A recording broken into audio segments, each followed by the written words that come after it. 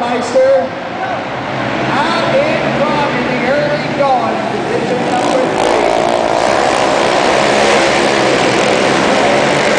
Peter in second and Jurgen Reifeld in third.